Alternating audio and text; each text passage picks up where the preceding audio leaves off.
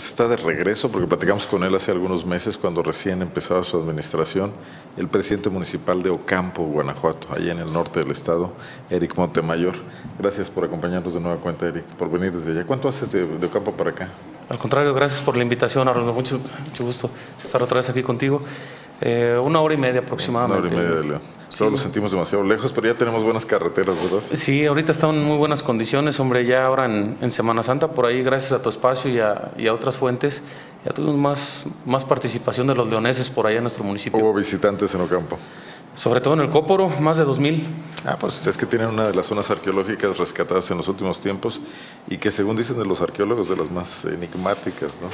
Muy interesante todavía por ahí con algunos descubrimientos y sobre todo mucho todavía por, por dar a la luz y dar a conocer a la gente. Muy bien, bueno, ojalá eso sirva, pero platícanos cómo vas con la administración. El primer año siempre va a ser complicado para los alcaldes que entran Tú traías ahí varios, varios conflictillos, sobre todo económicos. ¿Se van enderezando las cosas, Eric? No, bueno, nosotros estamos haciendo muchos esfuerzos, igual el ayuntamiento, tu servidor, eh, todo, pues toda la gente que trabajamos para el municipio, haciendo grandes esfuerzos, más sin embargo, la verdad es que ha sido muy pesado. Todavía por ahí hace unos días abordábamos los temas con el Seguro Social. Deuda de pasadas administraciones. Sí, eh, pesadísimo. Hemos analizado qué vamos a hacer eh, todavía hace unos días volvimos a tocar el tema. ¿Por lo pronto regularizaste ya a los trabajadores? Eh, de hecho, no, es que es una deuda grandísima, Estamos hablando de alrededor de 15 millones de pesos. Entonces sí está muy difícil. Estuvimos con la Auditoría Superior del Estado eh, preguntando ahí unas situaciones que pues nos preocupan, ¿no? Sobre todo la de las responsabilidades. ¿Qué tantas responsabilidades podemos tener? ¿Cuántas administraciones acumularon esta deuda? Pues histórico. Sí, varios. Histórico, sí, ¿no? A ver, pero entonces no reciben atención del Seguro Social tus trabajadores. Sí, tenemos 150 gentes aseguradas eh, que afortunadamente pues les ha sido muy útil y la realidad es que nosotros quisiéramos, todo el ayuntamiento tenemos la voluntad de, de entrarle, de regularizar, de estar al De iniciar a lo mejor pues es empezar la regularización. ¿no? Eh, yo creo que es lo que vamos a hacer próximamente, pero híjole, la verdad es que es todo un problema. Eh, la cuestión es que las responsabilidades nunca nos disminuyen a los municipios, al contrario, siempre aumentan. Pero el presupuesto no se compara con las responsabilidades ni con las necesidades que hay en la población. Ese es nuestro problema. ¿Ese diría el mayor conflicto que enfrentan? ¿Proveedores? Eh, obra pública. Tranquilo. Eh, obra pública, pues ya sabes, estamos haciendo todo lo posible por ahí, este, metiéndole un poquito a un programa, un poquito a otro programa eh, somos agricultores de temporal en su mayoría, quisiéramos meterle más, pero yo creo que este año nos vamos a sacar con 4 millones. A obra pública, por ahí entre los ejercicios de meterle un peso al Estado, un peso a la Federación, estamos haciendo lo posible por duplicar la meta, que serían cerca de 49 millones de pesos. Y tienes muchas comunidades rurales también, además de la cabecera, y un territorio amplio, ¿no? Sí, y dentro de cabecera hay, hay una colonia sobre todo muy con mucho atraso y problemas sociales y ahí. Y ahorita otro problema que se nos fue el Banorte. Y por la única sucursal bancaria La única sucursal, desconocemos los motivos por los cuales se haya cerrado. Anteriormente, hace cuatro años se, también se quiso cerrar, pero un poquito más de chance, nos avisaron un poquito, pudimos movernos Ahora en esta ocasión nos dieron tres semanas, se atravesó Semana Santa por si fuera poco, entonces... O sea, no era rentable para ellos tener la sucursal ahí. Eh, eso, eso dicen. Ahorita estamos eh, trabajando y tratando de, traer a Bansefi al municipio. Es una, una banca de desarrollo social, que es lo que más necesitamos nosotros, que por ahí la gente que recibe sus remesas, que de una u otra manera está en condiciones... Si no tienen que ir hasta donde está, San Felipe. San Felipe o Vuelos en Jalisco. A Jalisco ya 26 kilómetros lo más cerca. que no nos imaginamos aquí en León, pero que para ustedes son vitales. Sí, sí, sí. Y aparte, por ejemplo, son situaciones de particulares donde nosotros como municipio este, pues no podemos meternos y decirle a alguien, tú no cierres tu changarro. Eh, es, es una situación particular, pero sin embargo, a nosotros sí se nos viene una situación social, un problema o pudiera derivarse en alguna otra situación. Oye, el gobierno del Estado anunció su programa de desarrollo social con un recurso muy importante. Quieren invertir más de 8 mil millones de pesos en los próximos años. Impulso le llaman. Eh, ¿Cómo están siendo tratados los municipios en relación con esto? O sea, ¿han sido tomados en cuenta? Entiendo que hay encuestadores por todo el Estado, a lo mejor ya los ubicaste tú en Ocampo. ¿Qué esperas de este programa, Eric? Bueno, primero, eh, nosotros quisiéramos cuando menos 100 millones, ¿va? Que dijeran, órale, son 8 mil millones para el Estado y van 100 para Ocampo. ¿Han hablado con el gobernador, con el secretario Diego Sinoé Rodríguez? El miércoles, eh, miércoles 27 tenemos por ahí una entrevista eh, en el transcurso de la mañana. Porque esto va, a, se supone, a la población más necesitada, a los polígonos con mayores atrasos, como el que mencionas. Así es, nosotros ya estamos preparados por ahí con algunos proyectos y estamos muy interesados, ojalá y a la hora de, del reparto no quedemos en buenas voluntades y haya por ahí verdaderos compromisos, ¿no?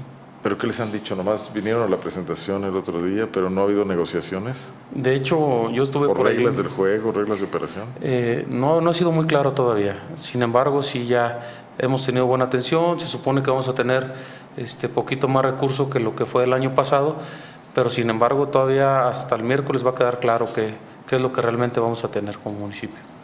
Ahora se supone que eso no debe tener ningún sesgo partidista. ¿Cómo están viendo las cosas? Ya por ahí el delegado del PRI, Antonio Lugo, señaló que les preocupaba esto. Estamos preocupados de que efectivamente, llegado el momento, no vaya a ocurrir esta situación de, de, sesgo partidario. Nosotros creemos y tenemos la confianza en que se va a manejar de manera institucional y sobre todo pensando siempre en los ciudadanos. Eso es lo que creemos, pero bueno, resultados concretos hasta el miércoles vamos a tener. ¿Y obra estatal en el municipio? Eh, están... Este programa de secas que se anunció a principio del año para empezar a arrancar ya la obra pública, ¿les, ¿les, vino a traer algún beneficio? Hasta el momento no, hasta el momento no. Por ahí tenemos solo presupuestadas dos obras para, para el municipio del orden federal, del orden estatal, perdón. Una que es eh, agua potable en una de las comunidades, que incluso estuvimos por ahí nosotros gestionándola directamente en la Cámara de Diputados y se aprobó, nada más que la, la va a ejecutar la, la SEAG y otra que es muy importante para nosotros en cabecera. Eh, resulta que en cabecera, conforme fue creciendo, se fueron haciendo los depósitos de agua, uno en un lugar, otro en otro, hasta que llegó el momento en que ya hay casas más arriba de los depósitos. Entonces ahorita vamos a hacer interconexiones. De la del agua. Que, es un problema también de planeación de pronto. Sí, la planeación. ¿Cuántos habitantes tiene la cabecera, Eric? Perdón, la ignorancia. Estamos hablando, según el último censo, de casi 8 mil, 8 mil gentes. Y de todas maneras hay problemas de agua. Sí, hombre, pues te lo mencionaba la, la ocasión anterior, nuestro problema es que extraemos el agua a mucha profundidad. ¿Se surten con pozos? Sí, con pozos únicamente y a mucha profundidad. ¿Todavía sin problemas de sales, arsénico y estas cosas? Contaminantes algunos, estamos viendo lo posible, estamos haciendo lo posible por llevarnos una potabilizadora. Si bien aún no son tan graves, sí ya empieza a haber algunos pozos que se han contaminado, que, que históricamente daban muy buena agua y a vuelta de cuatro o cinco años hacia acá este, se eh, presentan ya metales. Bueno, lo que pasa es que ya estás perforando a mayor profundidad y, el agua a mayor profundidad tiene otras sustancias diluidas. ¿no? Y tal vez como van bajando los mantos acuíferos, también van sacando de, de abajo donde estaban localizados los metales. ¿no? ¿Qué te dice de esto la Comisión Estatal del Agua?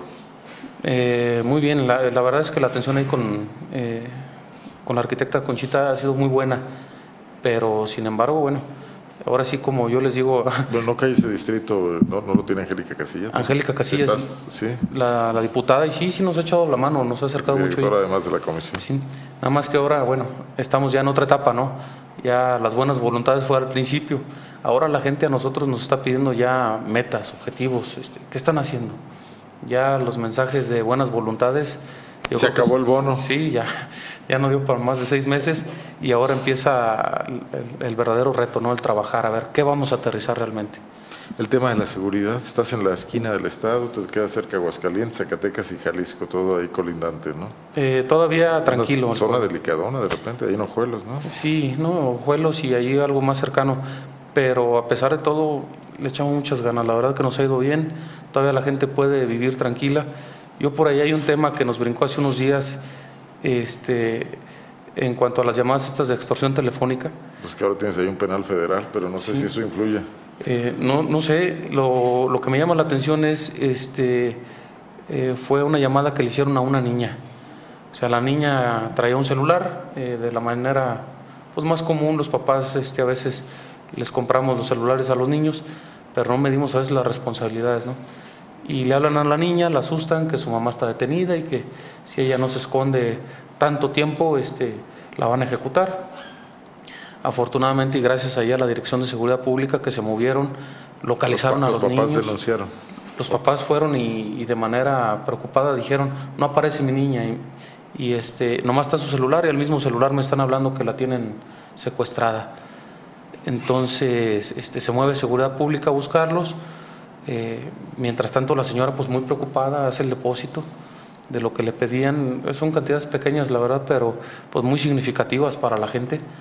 Y hasta que no, eh, por medio de la movilización, eh, dimos con, los, con la criatura, ¿no? Pero preocupante el que eh, tengan a tanto acceso los niños a los celulares.